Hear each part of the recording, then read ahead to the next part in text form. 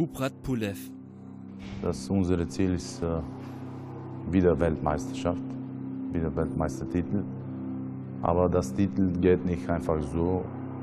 Der neue Weltmeister. Körpertreffer, ja, ja, der geht runter, schwer angenockt. Der kommt nicht mehr hoch, der Kampf ist aus. Bulev hat was ganz Besonderes. Wenn ich das schaffe noch, wie ich es eigentlich bei vielen geschafft habe, dann wird er hundertprozentig Weltmeister.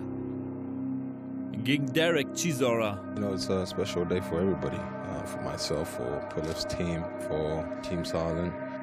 Derek Delboy Chisora! But he hasn't got a clue what's coming in. And from round one to the round we knock him out, he ain't gonna be able to live with me in the ring. I'll, I'll make him quit. I'm gonna break his heart. Das Schwergewichtsduell um die EBU-Europameisterschaft und das Recht, den IBF-Weltmeister herauszufordern.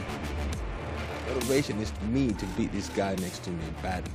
Show the world that I'm a very, very badass fighter. Starker Kampf, guter Kampf, für Publikum auch, interessant. Und kann sein mit Show, mit Drama, kann sein mit diesem Gegner. Aber ich denke, ich gewinne. Für beide die letzte Chance, nach dem Gürtel zu greifen. Kuprat Pulev gegen Derek Chisora. Das Duell der Giganten. Am 7. Mai aus der Barclays Card Arena Hamburg. Live in Sat 1 und auf ran.de.